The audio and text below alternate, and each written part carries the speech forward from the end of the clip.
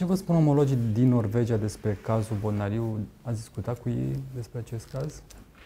Da, s-au purtat uh, discuții încă din decembrie, de când uh, s-a primit sesizarea pe acest caz. Uh, toate discuțiile pe care noi le-am purtat cu omologii le-am purtat conform prevederilor legislative în vigoare și conform atribuțiilor pe care le avem plecând de la mm, legislația în vigoare prin Ministerul Afacerilor Externe, cu care avem de altfel o foarte bună colaborare pe toate cazurile de Uh, copii identificați pe teritoriul altor state și care ar necesita o protecție. Cazul este în atenția atât a noastră cât și a autorităților de acolo. Plecând de la acest caz și de la altele pe care le avem, uh, noi am început demersuri pentru a stabili, uh, chiar la nivelul serviciilor sociale um, um, norvegiene și române, contacte pentru a încerca să identificăm un mecanism de colaborare între noi pe pe aceste cazuri. De ce le identificăm uh, acum? Uh, pentru că, dat fiind că deocamdată Norvegia nu este țară semnatară sau țară care a ratificat Convenția Haga din 1996, uh, nu are prevederi speciale pe modalitatea de lucru în cazurile copiilor cu cetățenie dublă atunci când e nevoie de protecția unui copil pe teritoriul altui stat, motiv pentru care intenționăm uh, să intrăm în contact direct cu serviciile sociale de acolo și să stabilim un uh, mecanism de colaborare. Um, depinde de, depinde de, știu și eu, identificarea celor mai buni omologi ai noștri, adică uh, mă gândesc la întrevedere între noi și omologii noștri de la nivel central, noi și omologii lor de la nivel local, dat fiindcă serviciul care a dispus uh, uh, scoaterea copiilor din familia Bodnariu în servicii la nivel local, cu specialiștii din, uh, din uh, serviciile noastre locale. Uh, deci, repet, suntem pe cale de a începe conturarea și creionarea unui mecanism de colaborare pe astfel de cazuri. Care sunt posibile soluții în asemenea, în acest caz? Cazul ăsta este un pic altfel decât cele pe care am mai lucrat noi uh, în cazul Norvegia și și în alte cazuri. În general lucrăm pe cazuri de repatriere, adică în general cele mai multe cazuri sunt uh, cazuri de copii care sunt uh, identificați pe teritoriul altor state neînsoțiți. Fie bă, părinții au plecat împreună cu ei și acolo i-au uh, lăsat în stradă sau i-au lăsat neîngrijiți sau uh, i-au trimis la cerșit sau pur și simplu, dintr-un anumit motiv, nu au mai fost capabili să îngrijească și atunci există un regulament internațional și o legislație română în baza căreia noi solicităm repatrierea. Există un întreg mecanism pus la punct. Aici lucrurile au fost un pic mai complicate, dat fiindcă copiii au părinții acolo, ă, însă am ă, solicitat ă, prin intermediul Ministerului de Externe, am solicitat serviciilor sociale de acolo să analizeze posibilitatea utilizării unui plasament la familia extinsă a copiilor, adică la unchiul patern de aici. Așteptăm uh, să vedem uh, răspunsul, funcție de legislație și de procedurile lor, cu siguranță vom primi un răspuns și pe, pe această temă. Și cât am putea avea cel mai devreme o soluție în acest caz? Nu ține de noi, ține de procedurile, ține de procedurile interne. Uh, înțeleg că noi pași în uh, acest uh, demers acolo, la nivelul autorităților norvegiene, sunt prevăzute undeva la începutul lunii martie, după care urmează un calendar funcție de ce se întâmplă la începutul lunii martie. Câte familii, câți copii se mai află în asemenea situații? Să vă spun cifrele exacte, deci nu chiar în această situație, ci în situația de a fi repatriați, vă spuneam. Uh, avem, uh, spre exemplu, deci vorbim numai de, de uh, repatrieri și numai de cazuri de copii de, identificați pe teritoriul altui state. În Norvegia, spre exemplu, mai avem 16 copii care provin din șapte familii. Apoi avem în Spania un număr mai mare de 188, Marea Britanie 117, Uh, ce mai avem? Franța 202, Italia 290. Astea sunt uh, cereri de repatriere.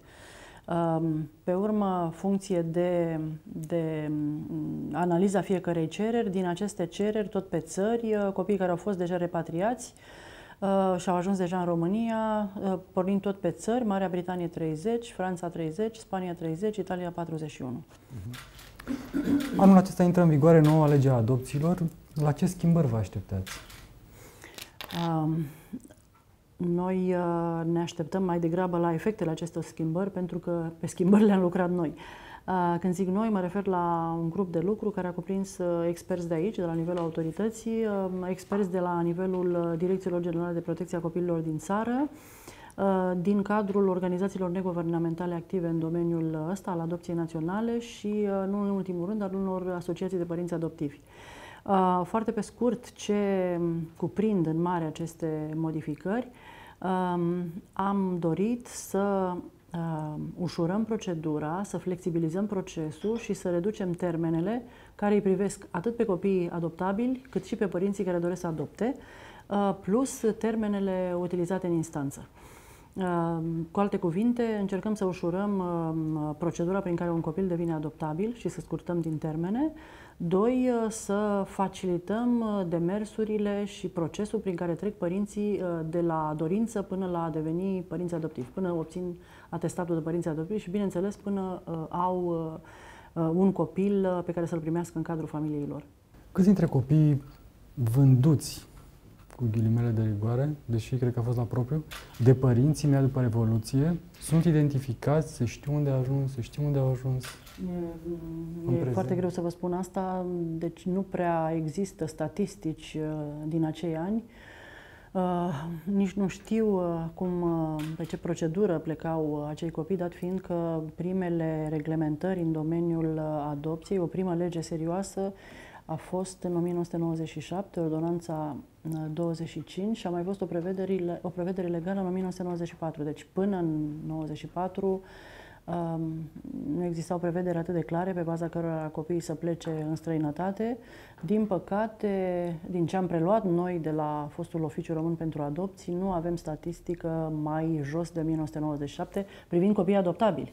Nu vorbesc de copiii vânduți, nu intra în atribuțiile noastre monitorizarea unor astfel de cazuri. Chiar nici nu știu dacă cineva s-a ocupat de aceste cazuri atunci sau cum ar fi putut să se ocupe. Dacă mă gândesc, poate v-au contactat și au încercat să-și găsească... Nu, ne contactează, e adevărat, foarte mulți copii care au fost adoptați în străinătate și care acum devin adulți încercând să-și găsească originile. Asta da, um, chiar avem un număr substanțial de, de cazuri și asta ne bucură, ne bucură din mai multe motive. Odată că Știm că acolo unde a ajuns ei sunt monitorizați și au fost uh, monitorizați perioada uh, obligatorie de monitorizare. Pe de altă parte, ne bucură faptul că um, au fost informați, așa cum ne-am dorit și noi, ca pentru copii adoptați aici, aceștia să afle mai devreme sau mai târziu că sunt adoptați, pentru că trebuie să-și cunoască și uh, trecutul și istoricul, așa ca orice persoană. Uh, și ne bucură faptul că, deși stabiliți acolo, cu obiceiuri, cu școală, cu casă, uneori cu familie, uh, dat fiind că știu în mare istoricul, vor să vină să-și vadă origine și atunci apelează la ajutorul nostru pentru a le căuta familia naturală. Nu întotdeauna cu succes, pentru că sunt familii pe care odată fie nu le mai găsim, părinții au decetat, Alte ori uh, le găsim, dar uh, acestea nu doresc să intre în contact cu, uh, cu um, um, tânărul respectiv. Um, altele sunt cu succes din punct de vedere al dorinței și a unui așa celuilalt de a se revedea. Dar mai există asemenea cazuri de părinți care își vând copii în prezent în România? Acum, știți ce se întâmplă asta cu vândutul? Este un termen uh, uh, pe care mi-ar fi greu să-l definesc. Deci uh, nu ai cum. Nu există așa. A, că poți să încerci să-ți dai copilul contra unei sume de bani, da. Dar mai departe nu prea s-ar putea materializa nimic, pentru că uh, dacă cineva uh, ia un copil, acelui copil îi trebuie un certificat de naștere, îi trebuie un act de identitate, deci nu ar putea să facă nimic cu el în sensul că nimic fără aceste acte, în sensul că nu l-ar putea duce nici la școală, nici să zicem că ar fi o adopție mascată.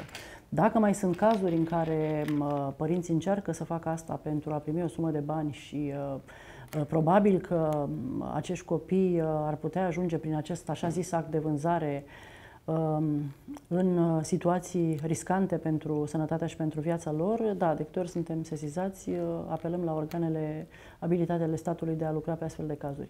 N-am Pot să vă spun că am primit foarte multe sesizări de 2 ani și jumătate de când uh, suntem noi reînființați. Cred că au fost două sau trei uh, sesizări pe tema asta, când la rândul nostru am sesizat și noi uh, organele abilitate.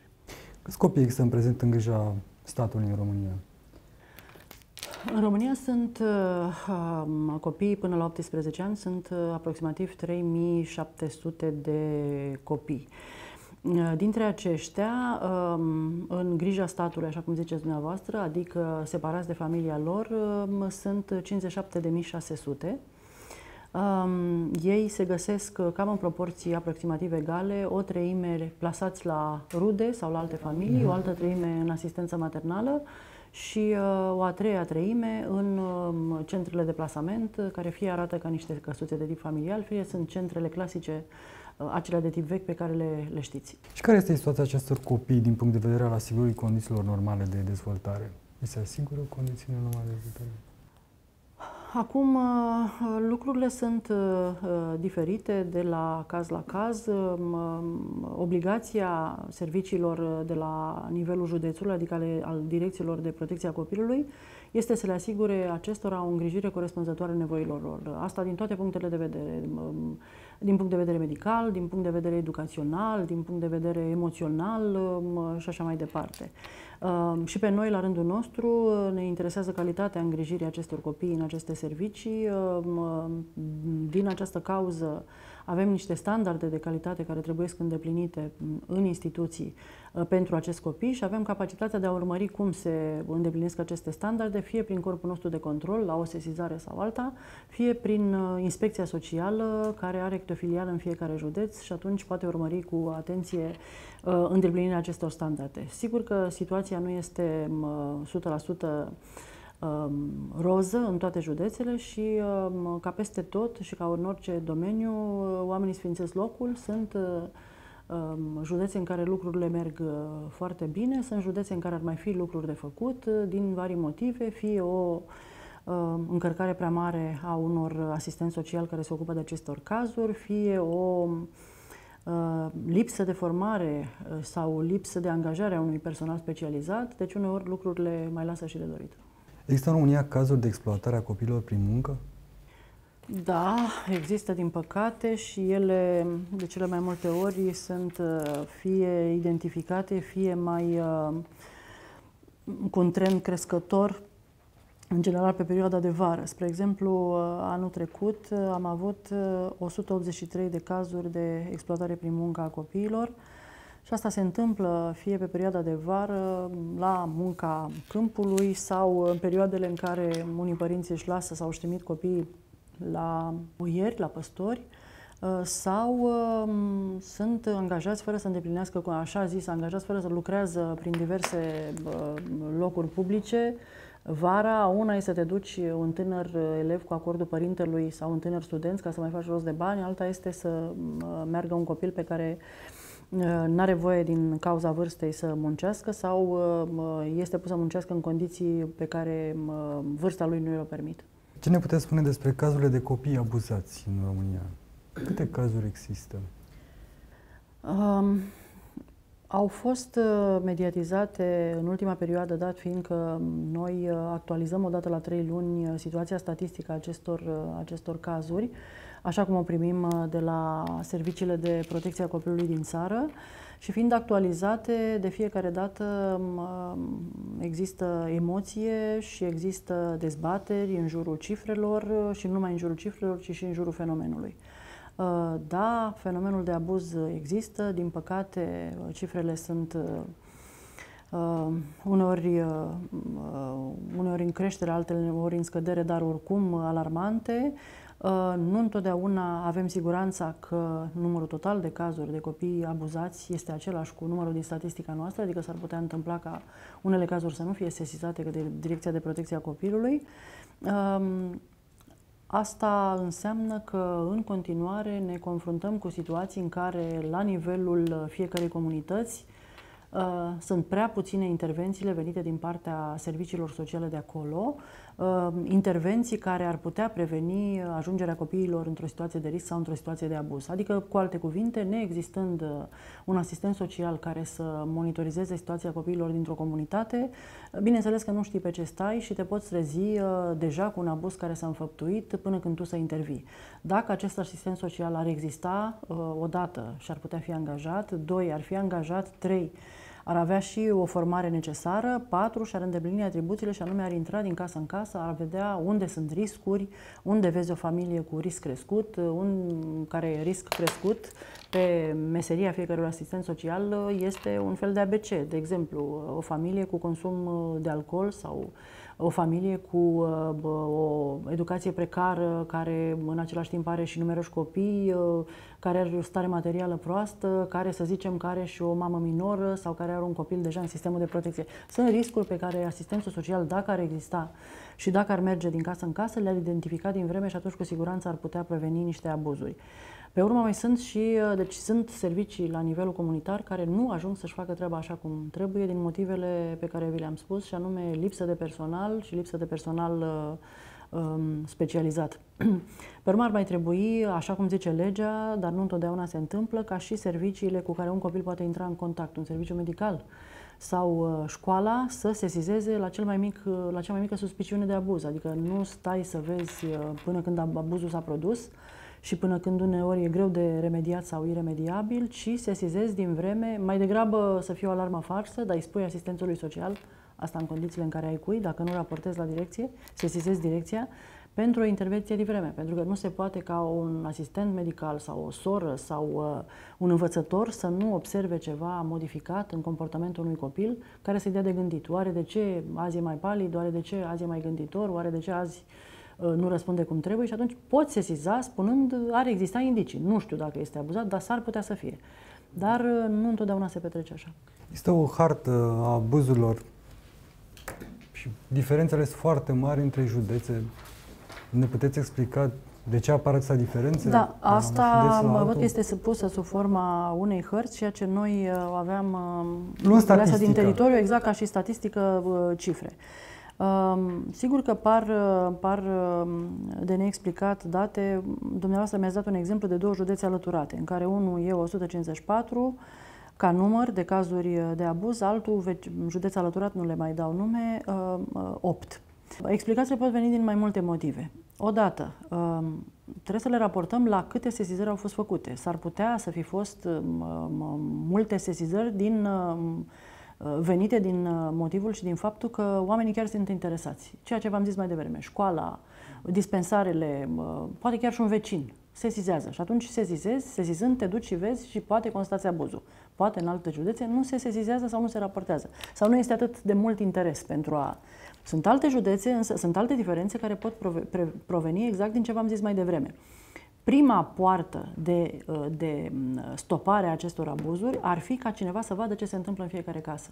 Acolo unde avem asistent social în comunități, acolo uh, lucrurile nu ajung până la un abuz care deja s-a comis, ci uh, copilul poate fi într-o situație de risc, dar care poate fi redresată vorbind cu familia, discutând cu familia, învățându-l pe părinte cum să poarte, spunându-i părintele lui ce să nu facă, explicându-i părintele ce îi dăunează copilului. Dar asta, repet, Trebuie ca la nivelul fiecărui comunități să existe un asistent social. Unde există, astfel de abuzuri pot fi prevenite. Unde nu, se face o intervenție, dar deja când abuzul s-a comis sau când, la nivelul județului, deja al doilea nivel, uh, s-a raportat un abuz asupra copilului și atunci Direcția de Protecție a Copilului îl ia pe copil de acolo în cele mai multe cazuri pentru a-l proteja în altă parte decât în familia lui.